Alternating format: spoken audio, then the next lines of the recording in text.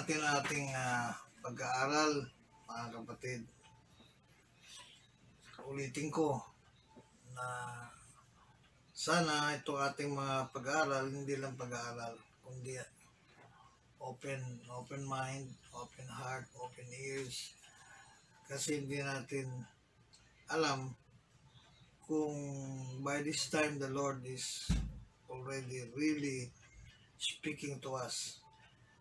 Kasi I, I believe na itong mga panahon kagaya nito, hindi pwedeng manahimik ang ating Panginoon. The Lord, the Lord will never be silent in this type of situation. Mga kalamidad, mga earthquake, famine.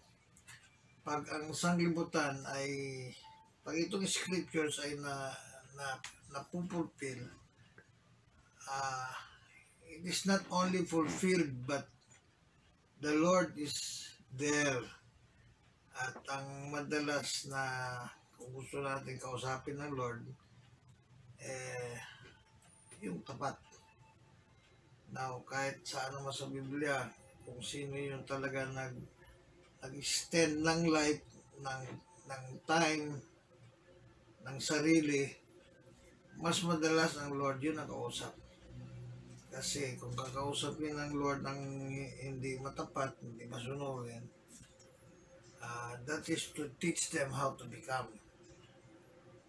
Now, pero kung ganito na may realization para matupad o may katuparan, God Himself will come. mag intervene siya sa mga sa mga eventualities. Ah, mag-inter mag-intervene siya because this is his business. This is his business. To see things fulfilled is one of his business. Ah, so, sana hindi lang ito ating pag-aaral but sensitive yung ating mga espiritu because the word is spiritual. It deals with the with the heart. Uh, God does not deal with the brain. God, God deals with the heart. And so, sige, patuloy natin ating pag-aaral.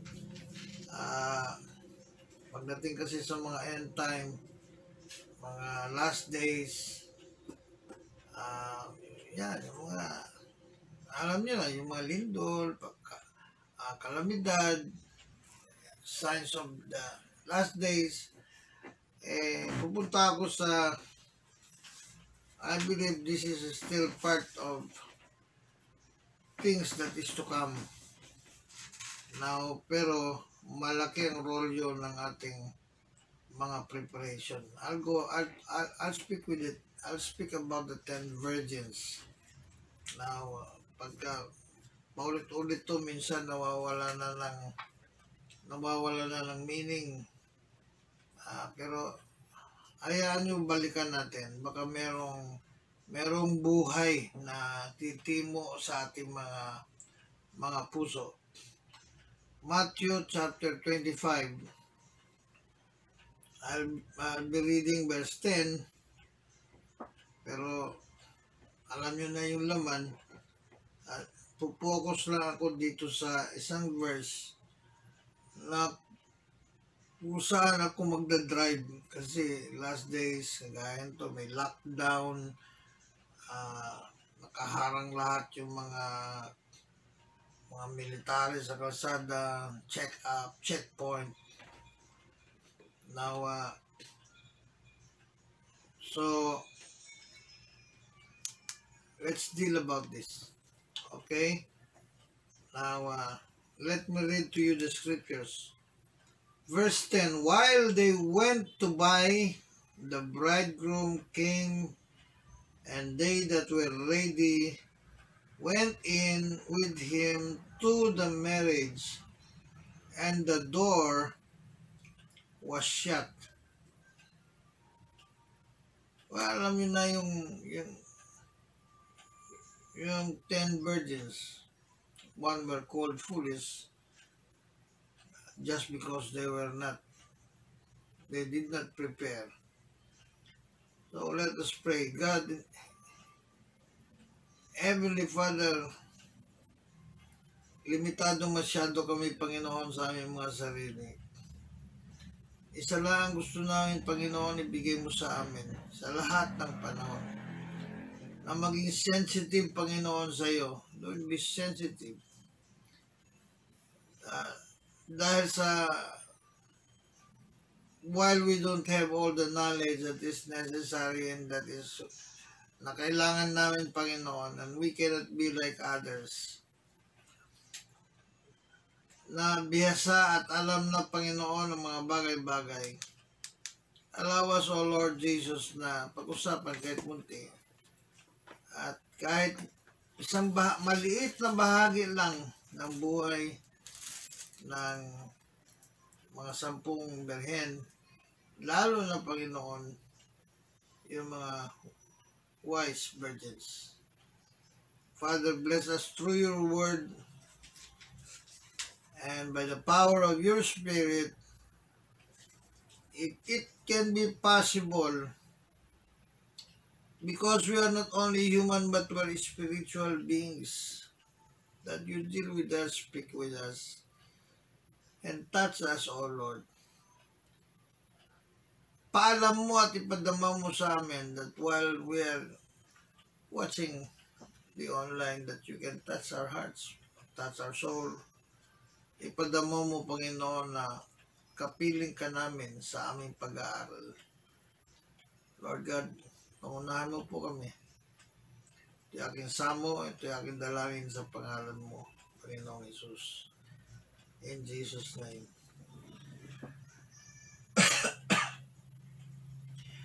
Mga kapatid, verse 10, samantalang sila'y pumaroon at bumili ng ah, ng langis. Dahil yun ang problema nila. Eh. Meron silang lamp, pero an empty lamp. Now, an empty lamp uh, cannot bring them anywhere. Uh, so, while they went to buy, kasi yun nga payo, uh, kayo, kasi humihingi sila eh, pahingi ng ng langis dun sa mga five wise virgin, pantas na berhen. Eh, pinayuan sila na bumalik kayo at bumili. Samantalang sila para pumaroon, the bridegroom came. Now, ayan na, ayan na, ayan na ang problema. Kasi, yung bridegroom, dumating. sana, sana man lang, huwag mo lang dumating. Di ba, yun ang ating, yun ang ating procrastination. Hindi ba yun ang ating, minsan nasa likod ng isip, I'll delay my, my repentance, I'll delay my, I'll delay my, lahat, ah, bibilisan na yung business, bilisan na yung trabaho, bilisan na assignment, lahat, get ourselves busy, tsaka na. Yung tungkol sa pagdarating ng Panginoon. And while they were on their way back, trying to recover, trying to make up,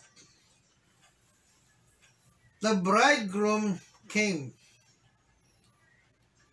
Now we wish that everybody's ready because when the bridegroom when the bridegroom comes, he's not coming for those who are preparing. Now kung kung kung siya hindi na parito sa hindi handa, well, bakit siya paparito sa hindi handa? Natural, hindi handa eh. Hindi siya paparito sa hindi handa. At saka yung hindi handa, wala expectations yun. But, obserbahan natin, with the Christian churches now, it's spreading throughout the world because the gospel is being spread. Ako nga, lagi kong sinasabi, 14 years old ako nang tumanggap sa Lord. I'm 69 now. Multitude, multitude crowds. Ang dami na and most of them, oh, backslider na. Now, let me say this. Sa aking, sa aking pananaw at sa aking obserbasyon. Mas marami ng backslider ngayon. Everybody knows Jesus is coming. And and more people are preparing.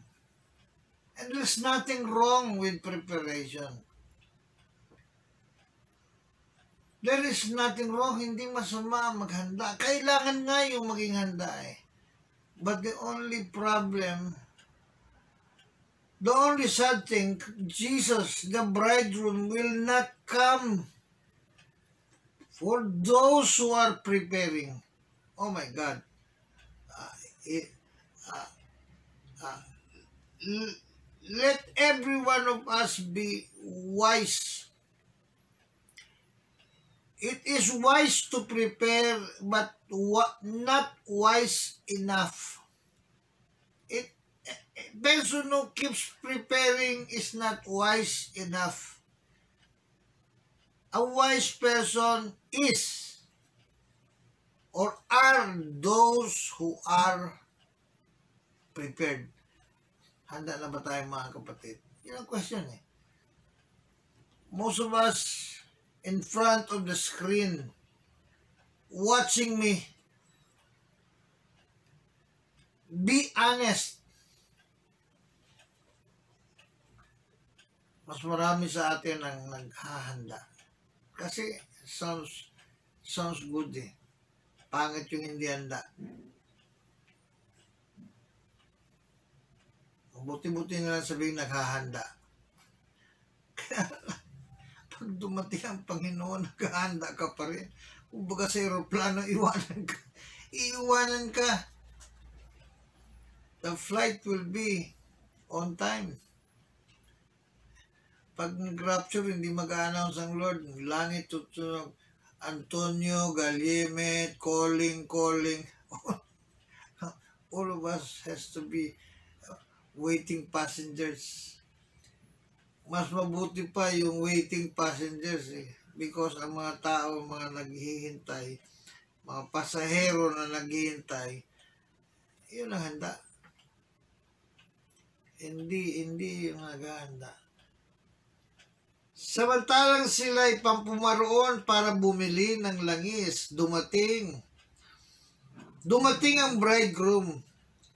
They that were ready went in with him to the marriage and the door was shut. I want to talk about when the door was shut.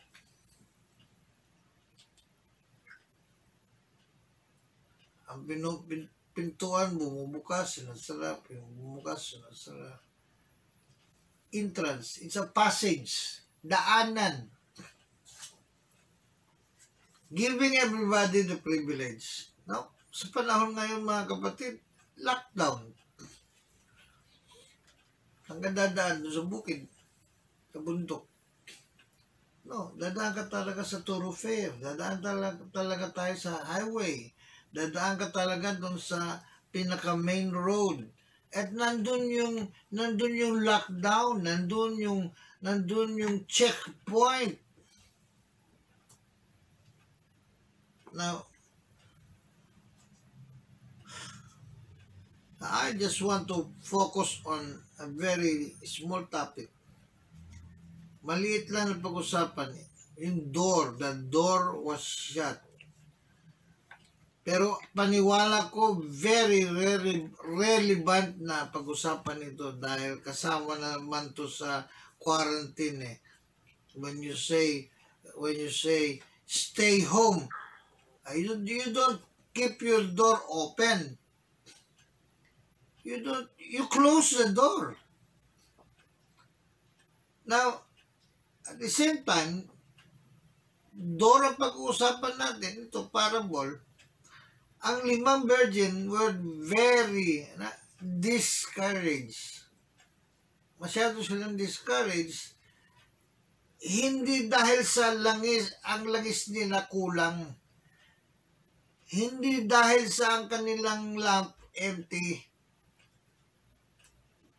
Hindi dahil sila pabalik sa bayan at bibili ng langis. It's giving them hope to come back. It's an opportunity that they will grab. Balik, bili kayo ng langis. Na-disappoint sila. Why? Because the door was shut. Nasarado ang pintuan. Now, yung lesson at warning, hindi nila napansin. Now, dito malalaman natin na hindi talaga okay ang malate. Hindi talaga okay ang malate. The door of heaven will not be open just just because of one single person.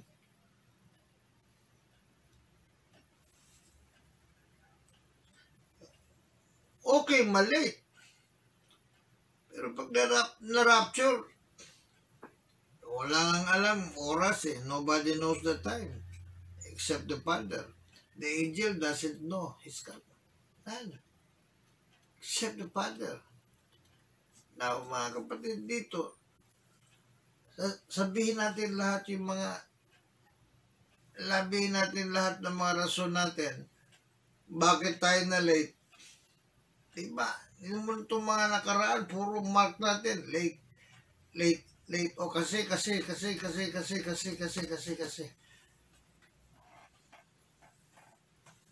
Now, pagdating sa Panginoon, pagdating sa rapture, pagdating sa end time, we have to be aware and conscious. Lahat aware.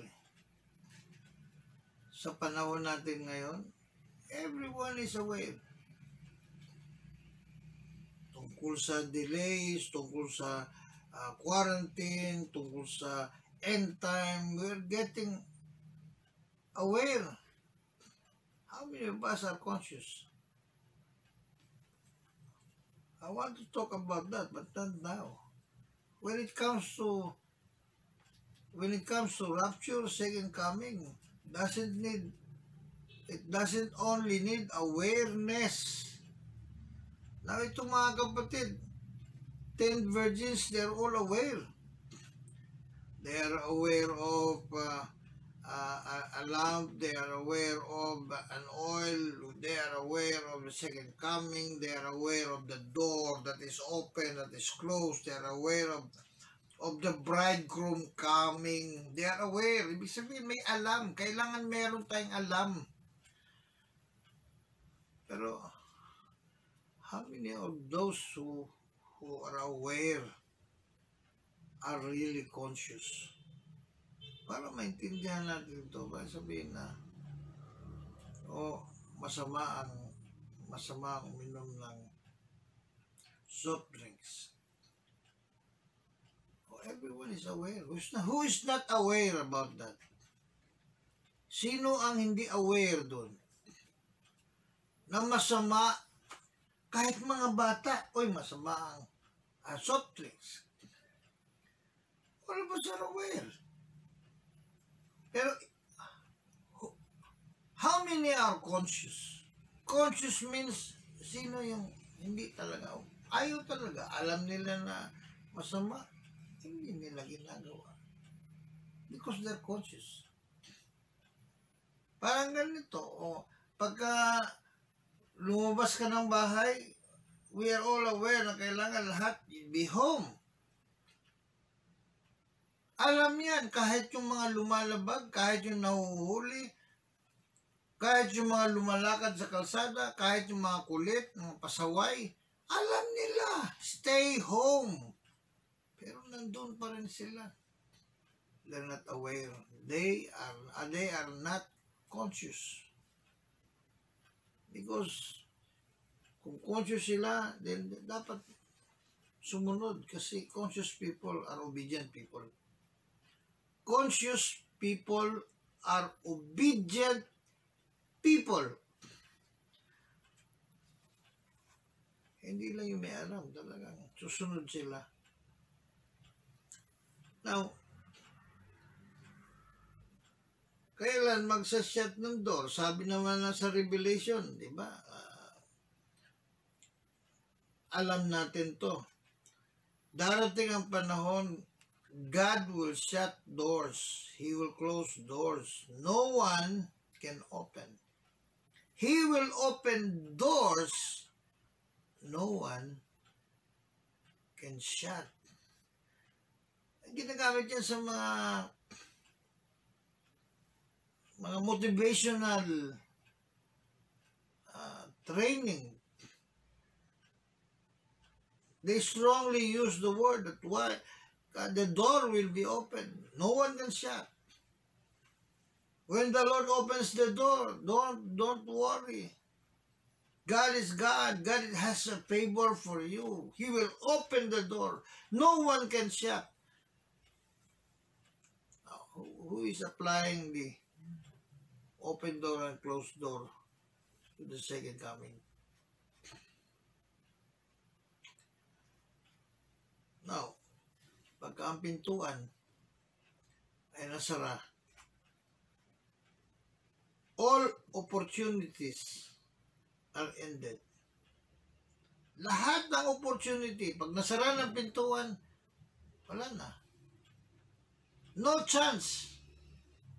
There is no second chance when the rapture takes place. There is no second chance when the door is closed. When the bridegroom comes, there is no second chance.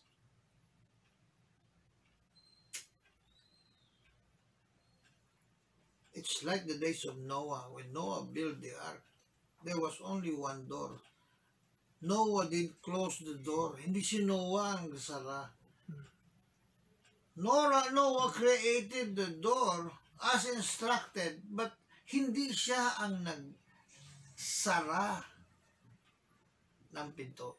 It was God who closed the door of the ark. Then the rain came. Tao sa labas ng daong. What foolish people they are. They were invited to come into the ark. When the door is closed, provision, promises, all opportunities and chances is ended. No prayer will work. Wala na. When the rapture takes place, you pray. When the 6666 rises, manalangin ka. You know how to pray. Pray! Nandyan na yung ruler of the world. Nandyan na yung brutal na na tribulation. You pray. What will you what will you pray when you are left behind? What? Remember that prayer can only work at a season where it still works. Pagka-rapture na, wala na. When the world is ended, what chances do you have? It will all be regrets, regrets, regrets, regrets. Siguro kakatokin mo ulo, uuntog mo ulo sa ano. Why? Because you fail. When the door is shut, both the outside people and those who are in the in the door and out of the door will be there forever. Pag nakapasok na sa pintuan at nasara ang pinto, forever starts. Forever. Pagpasok mo sa pinto, it will be forever. Pag nasyat ng pinto, forever. At tayo maiiwan, tayo nasa labas, forever din. It's either forever heaven or forever hell.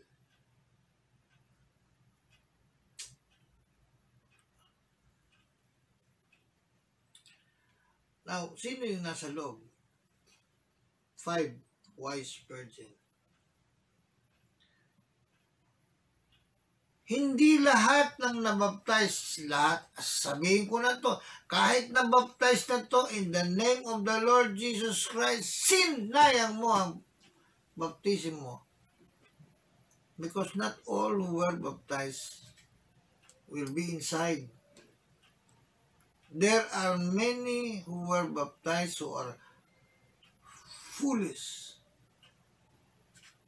They have not been wise enough. Nagpaka-wise na tumanggap sa Panginoon. Pagkatapos yun lang. After that, wala na. Nagpaka-wise. Na mga kapatid, huwag niyong kalimutan, hindi lahat, sabi ng Biblia, not everyone that say, Lord, Lord, not everyone that say, Lord, Lord, is inside the door. Many of those who are saying, Lord, Lord, calling him Lord, not everyone that is using his name in music and singing and praises in casting out demons and healing the sick and miracles using the name of Jesus ay nandun sa loob. Not all. Oh, sayang. Don't be deceived, not because you say Lord, not because you know how to pray, not, not because, not because that you can assure you're in there. Because the requirement is there has to be enough oil. The first requirement, of course, we know, is not oil, the blood of Jesus. Be baptized in Jesus' name. That is where the blood of Jesus is applied. Then sinabi ng Acts 2.38, And ye shall receive the gift of the Holy Ghost. Yun ang oil. Two great requirements para sa ating buhay is the blood of Jesus and the Holy Spirit. Huwag natin litin. Let's not minimize the requirement of the Holy Ghost. O, tapos na ako. My sins are redeemed. I am redeemed. My sins are forgiven. Now, how about your future? Lahat ng kasalanan, kasalanan mo, kasalanan mo na, inugasan na lahat. Eh, pagkatapos nun, magkasala ka ulit, magkasala ka ulit, magkasala ka ulit, magkasala ulit. Mabuti kung maalala mo magsisi, magsisi, magsisi, kasala, magsisi. Who will give you the power to do that? Kaya kailangan, ye shall receive the gift of the Holy Ghost. Tanggapin mo ang Espiritu Santo. Yung Espiritu Santo, yun ang, yun ang unang sasabihin niya, hindi niya hintay magkasala ka. Ang unang sasabihin niya, huwag mong gawin yan to avoid sin. Kung sakaling hindi mo, hindi mo na, na, na overcome, then the Spirit will say, repent. The Spirit of God will not will not wait that you you keep on sinning and then will give you the power to repent. The Holy Spirit will will give you the power to prevent. We know. All of us know that prevention is better than cure. Eh baka mamaya wala nang cure yan. Now, eh sino yung nasa labas? Yung sino yung nasa labas? Well, alam natin, wicked. We're not wicked. Pero, yung tumatawag sa Lord, gumagamit sa kanyang name, akala natin yung wickedness, yung pumatay, gumawa ng mga ah, kabulastugan, yung masasama, yung wicked. No. Maraming gumagamit sa name of the Lord. Maraming gumagamit sa name of the Lord. They cast out demons. They use it. They're wicked. Ito nga tumatawag. So, Lord, Lord, Lord. The Lord said, I know you're not. You wicked. Now, let's not only familiarize prosperity, favor of God. Let's not, let's not over familiarize the goodness of God. let's also let's also know ano yung ano yung uh, hahadlang sa favor, ano yung gagawin tayong masama. Now, ang nasa sa labas, yung mga hindi handa. Yung nasa labas, yung hindi masunurin. Yung hindi faithful. Ang maiiwan, hindi tapat. Hindi tapat. O, tapat ako. Na-late lang. Ang pinakamahalagang sa ngayon sasabihin ko to. Ang pinakamahalaga sa panahon ng kagaya nito, sabi ko nga, paghahanda. Therefore, our faithfulness now, we can check our faithfulness by using time. If we cannot be on time, we are not faithful. Kasi doon malalaman kung tapat tayo eh. Diligently doing what is right and have to be on time.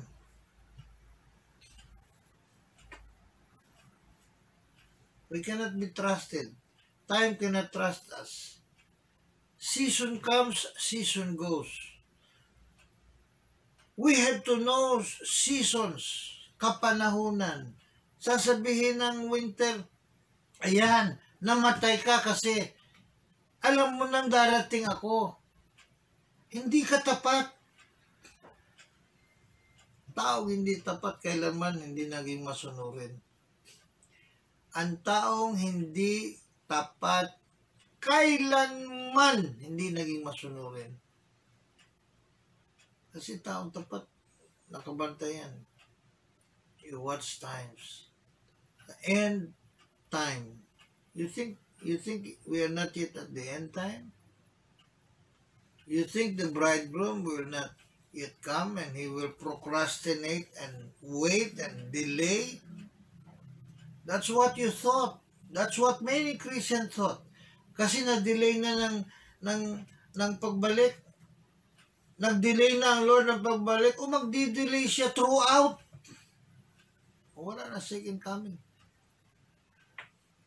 Mga kapatid, if we can be faithful, if we can be faithful, we can come in the door. The door is shut to the wicked, to the unprepared, unto, and to the unfaithful. Tandaan niyo, sabi ng Panginoon, come in to my rest, you faithful servant of God.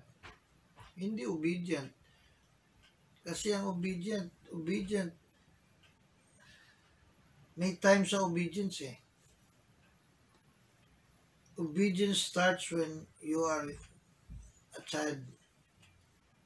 When you grow older at tumanda ka na, kagaya ng kayo ngayon, hindi na obedience ang requirement ninyo. You have to be faithful because faithful people are always obedient. Faithful people are always obedient. Praise God.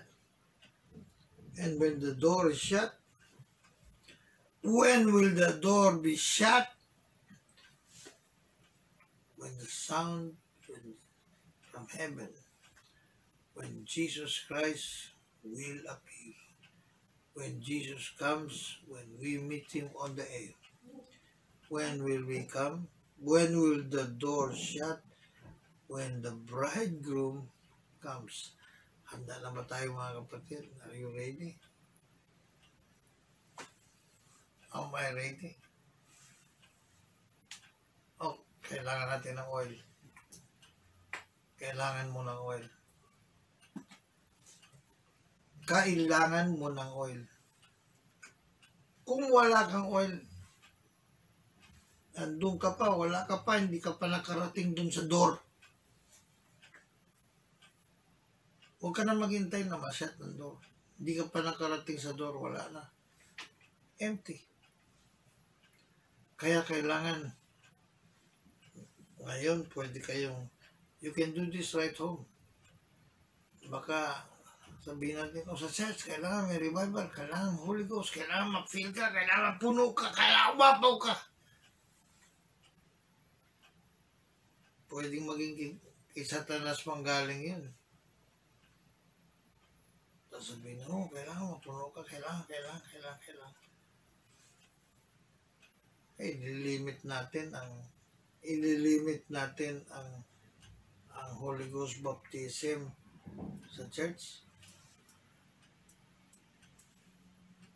When the Holy Ghost was poured out, it was poured out in the upper room. 120 received the Holy Ghost.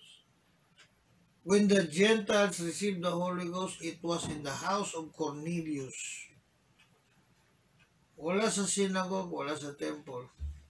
It's in the house of synagogue. We have a brother on the matagal ng panahon, pioneering times, nakatanggap ng Holy Ghost dun sa pabrika ng mga chinelas.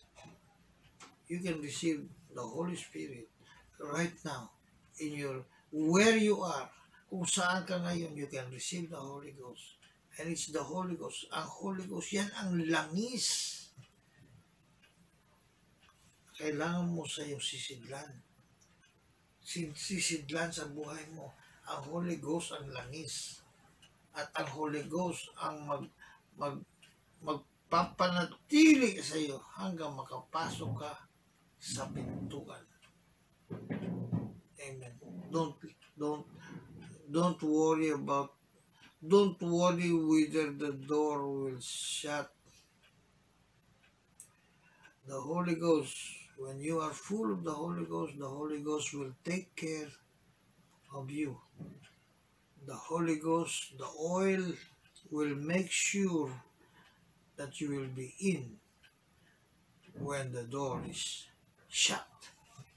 Praise God. Gracious Heavenly Father, right now, oh Lord God, I know that you can send revival not only in the church. When we sing revive the church of God, we don't mean the church building we are asking you, Lord, to revive the church. The church is right in the house. Nandyan sila ngayon, Panginoon, sa mga bahay na nanonood dito sa sa episode na to. Lord God, have mercy. If you are a God and you are a just God, pour out your spirit. Ibigay mo, Panginoon, sa kanila. They don't need to wait for another Sunday. They don't need to wait for another time you can you can fill them with the Holy Ghost right in their homes right now. You can do it, Lord. Lalo na kung meron pang silang kasama na mananampalataya. Lord God, extend them a special favor in a time like this. Remember, Lord, we're doing this online. Wala na kaming ibang katulong, Panginoon kahit na gusto namin, pwede kami magsayaw-sayaw, pwede kami mag-revive, pwede kami kumanta ng mga awit para ma-stir ang bawat isa, para mabuksan ang puso. But Lord,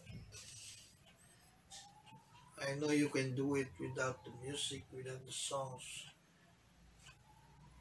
without creating revival atmosphere. Lord, do it right now, please. Please meron may naghangad sa kanilang mga puso dahil kami na sa huling araw. Alam mo Panginoon alam alam alam ko din Panginoon na in time like this gumagalaw ka Panginoon. In times like this nag intervene ka Panginoon. And filling them with the Holy Ghost is one of the result of your intervention Jesus, we are doing this, we are asking you before the door is shut. I pray in the precious name of Jesus. I pray in the precious name of Jesus. Mga kapatid, sige, tuloy ninyo. I'll be closing now. I want you to extend yourself. Huwag kayong mahiya.